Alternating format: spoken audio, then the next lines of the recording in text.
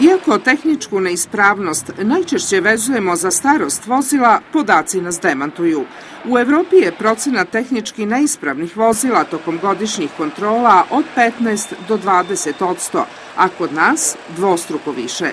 Svakako, opravdanja nema, jer to je osnovni uslov za bezbednost svih učesnika u saobraćaju i vozača i pešaka. U ovakvoj istoj akciji tokom leta je u Srbiji od 100 kontrolisanih automobila kod 32 utvrđeno da su kočnice neispravne.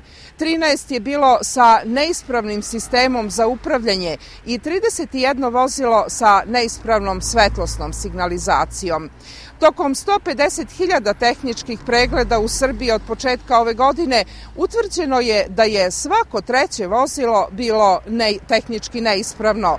Od toga do trenutka nesreće na putu i gubitka života, invaliditeta i materijalne štete, vozače i saputnike deli samo jedan trenutak.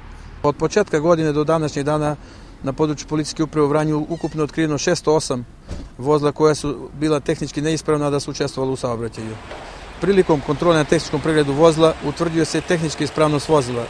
Ukoliko se utvrdi na nekom vozilu da postoji tehnička neispravnost na vozilima, gde, gde spadaju uh, uređaj za upravljanje, uređaj za zaustavljanje, onda se protiv vozača preduzimaju mere prekšćene odgovornosti, a vozilo se isključuje iz saobraćaja.